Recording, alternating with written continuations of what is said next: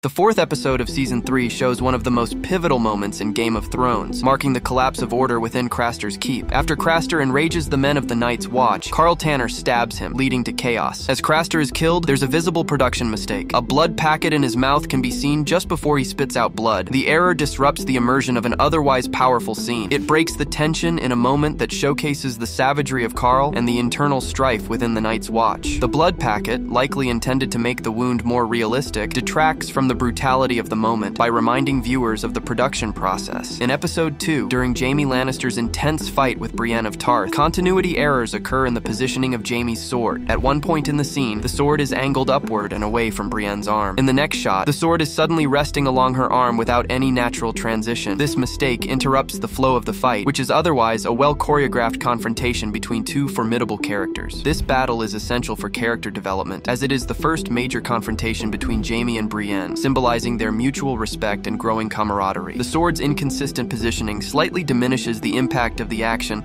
but doesn't fully detract from the scene's significance. The Red Wedding, which happened in episode 9, is one of the most shocking and devastating moments in Game of Thrones, but even this scene has a notable continuity error. As Robb Stark crawls towards his wife, Talisa, her body appears to change position between shots. Initially, her head is positioned one way, but moments later, her body has rotated 180 degrees, with no logical explanation. This inconsistency disrupts the emotional intensity of Robb's final moments with his wife, given that the Red Wedding was intended to be filmed in one continuous take. This error stands out, making it clear that some shots were reshot or spliced together. This breaks the illusion of fluidity during one of the series' most heart-wrenching sequences. During Hoster Tully's funeral in episode 3, Robb Stark and Blackfish Tully push the funeral boat into the river. After they climb back onto the dock, there is already a visible water trail leading from the river to the dock, which is an obvious sign of multiple takes. This error occurs in a solemn scene meant to reflect on loss and family unity, contrasting the show's otherwise high level of attention to detail. The mistake makes the scene feel slightly staged, pulling the audience out of the reflective moment. The repeated takes necessary to get the right shot likely caused the water trail to appear prematurely, which was overlooked in the final edit. In episode 7, Jaime Lannister is being tended to after losing his hand. A white ointment is applied to his stump to disinfect it before bandaging. However, in a continuity mistake, the ointment disappears between shots before the bandage is applied. This error is minor but noticeable, as it happens during a crucial moment when Jaime's vulnerability and humanity are revealed. His conversation with Brienne during this scene is emotionally charged, and the disappearance of the ointment distracts from the depth of the interaction. Despite this small error, the scene remains a significant turning point for Jaime's character development. In episode 6, The Climb, the wildlings and Jon Snow are camped before attempting to scale the wall. During a scene at the wildling camp, a glaring production mistake occurs. A modern building is visible in the background. This error breaks the immersion of the medieval fantasy setting, briefly pulling viewers out of Westeros and into the present day. The moment occurs when Jon and Ygritte are preparing to continue their journey, and while the focus is on their tense conversation about loyalty, the appearance of contemporary architecture undermines the scene's atmosphere. Given the level of visual realism that Game of Thrones is known for, spotting a modern structure like this comes as a surprise, disrupting the carefully crafted world. Later in the same episode, after the harrowing climb up the wall, Jon Snow and Ygritte share a kiss at the top of the wall in a dramatic and romantic moment. However, just before the camera pans out for a wide shot of the landscape, Tormund and Orell, who were sitting next to Jon and Ygritte, suddenly disappear from view. The vanishing act is never explained, and the continuity error is noticeable, given that Tormund and Orell had been key characters in the scene just moments before. This inconsistency in the placement of characters within the same scene disrupts the emotional flow of the moment. Throughout Season 3, several battle scenes suffer from continuity errors involving sword placement. For example, characters' swords switch hands or positions between shots without any logical transitions. These errors are especially prominent in fast-paced, large-scale battles where the action is intense and the editing is rapid. The changing sword positions break the sense of fluidity and realism in combat sequences,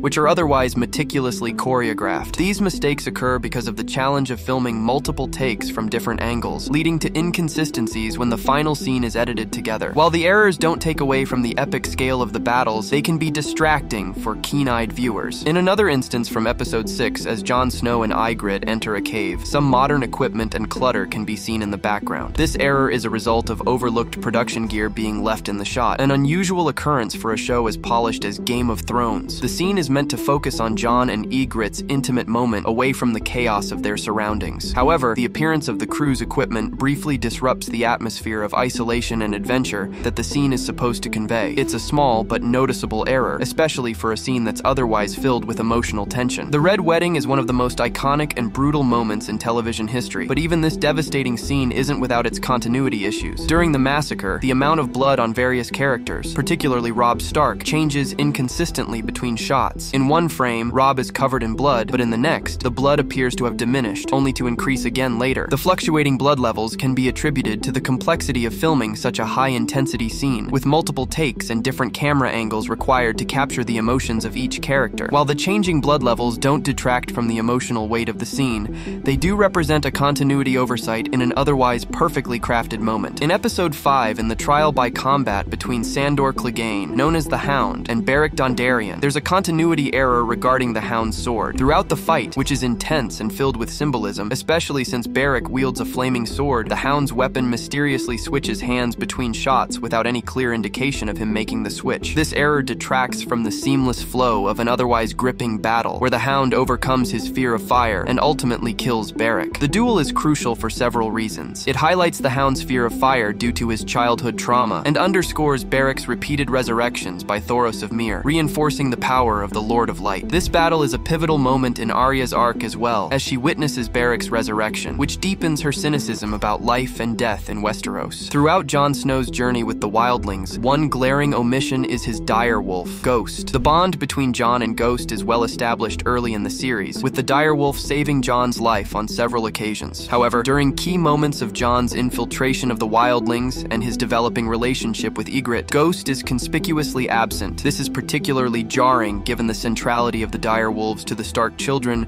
and their symbolic and practical significance. Budgetary constraints likely played a role in this absence, as CGI for the direwolves was expensive and challenging. Nevertheless, the lack of Ghost during critical moments in Jon's journey diminishes the emotional connection viewers have come to expect from their relationship, making it feel incomplete at times. In episode 3, Walk of Punishment, a solemn moment takes place as the Night's Watch burns the bodies of their fallen brothers. However, there's a noticeable continuity error where the positioning of the corpses on the funeral pyre changes between shots. This mistake likely occurred due to the complexity of shooting such a scene over multiple takes, but it interrupts the emotional gravity of the ritual, which is meant to convey the dire situation the Night's Watch is facing beyond the wall. The pyre represents the grim reality of their losses, and the changing corpse positions slightly undermine the scene's intended weight. This episode is otherwise a powerful exploration of themes like duty, sacrifice, and the brutal conditions faced by the Watch. Throughout several scenes depicting Robb Stark's military camps, the positioning of tents changes between shots, making it seem as though the camp has mysteriously relocated. This error occurs multiple times during Robb's campaign in the Riverlands, where his forces are seen shifting positions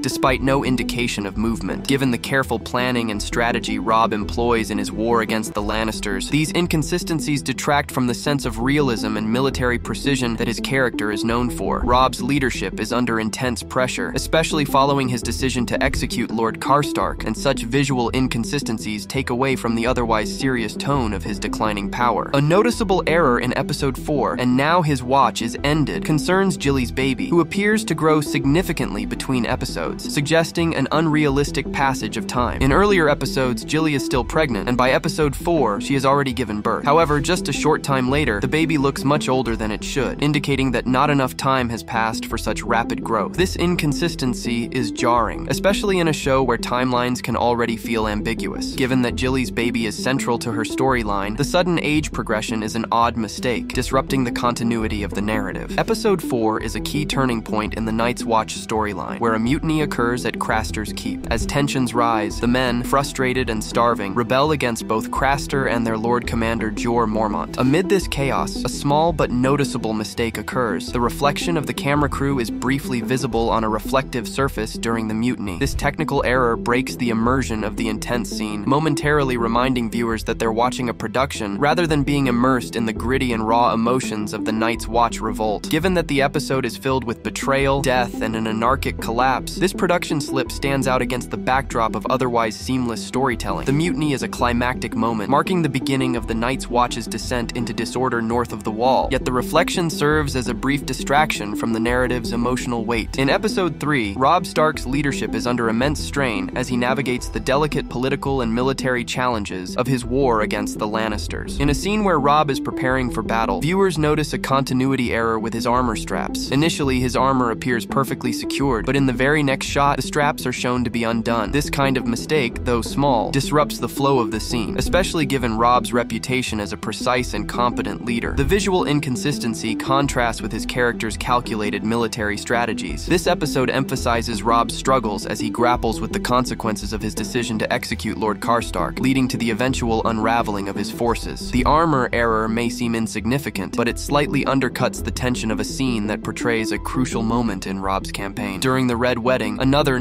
noticeable continuity error occurs. During the massacre, Catelyn Stark is seen pleading for her son Robb's life, but in the middle of this gut-wrenching scene, her scarf disappears between shots. One moment she is wearing it, and the next, it's gone. This mistake, while minor, momentarily disrupts the viewer's engagement with the horror of the event. The Red Wedding is a carefully orchestrated betrayal, filled with emotional depth and tension, and Catelyn's plea for mercy is one of the most heart-wrenching moments of the series. Despite the scarf's sudden disappearance, the scene retains its emotional power, though attentive viewers may notice the slip in continuity. That brings us to the end of this video. Let us know which error seemed the most ridiculous to you, and don't forget to like and subscribe for more. See you in the next one.